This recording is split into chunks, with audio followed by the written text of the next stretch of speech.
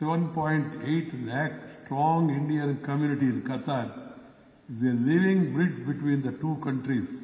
Some of you, I am told, have stayed here for over 40 years. You would have noted how well India's Qatar ties have progressed since the Prime Minister Narendra Bhai Modi motivated the Look West policy. He has taken a personal interest in actively engaging with the Qatari leadership. We are witnessing a deepening of relations between India and Qatar.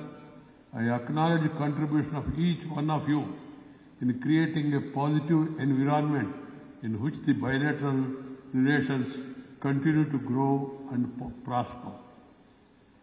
Despite the COVID-19 challenge, we, India, Qatar have recorded the highest ever bilateral trade of over US dollar 15 billion last year.